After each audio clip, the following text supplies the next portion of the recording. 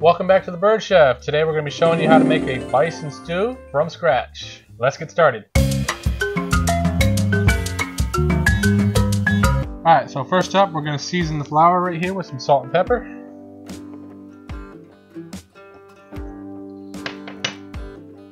Give that a little bit of a mix. And we're going to toss the bison in there. We want to get a nice even coating of flour on all the bison. And now we're ready to start cooking.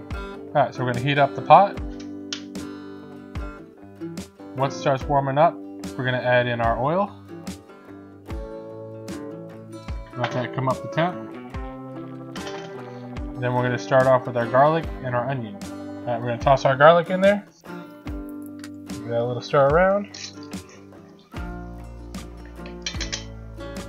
Add our onions. And we're going to fry those up until they get nice and caramelized. Usually want to give them about 5 minutes to get caramelized.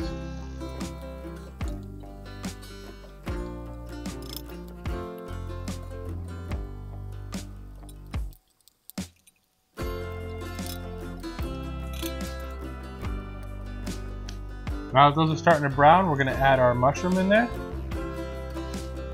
Get that sweating down.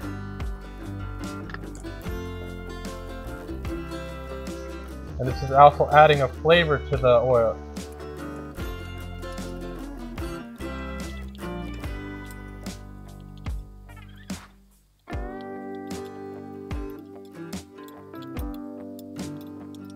Now we're going to push those to one side. And we're going to add our bison meat. Give a nice little shake off. And then we're going to fry those up until they get nice and golden brown all around.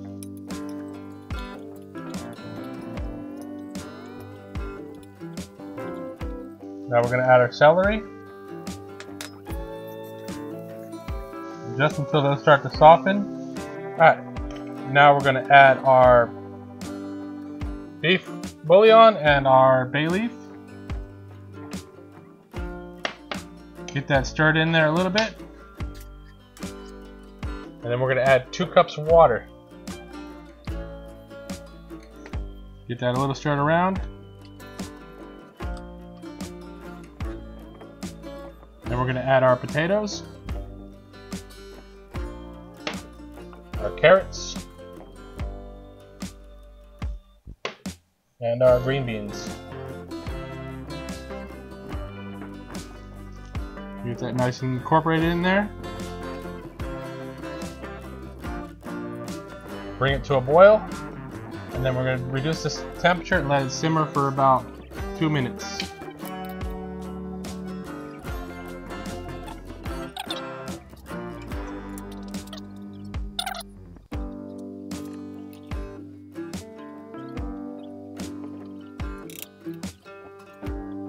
Alright, now we got that up to a boil.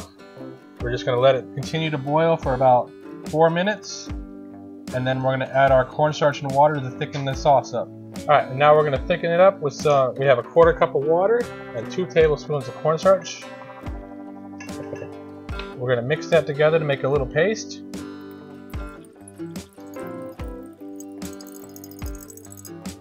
And then we're going to slowly pour that in while stirring so it doesn't turn into mush.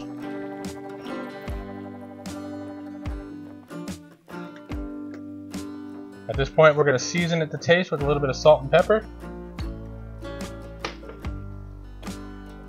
And we're going to stir until it's thickened. Should take about a minute or two. You can already see it starting to thicken up.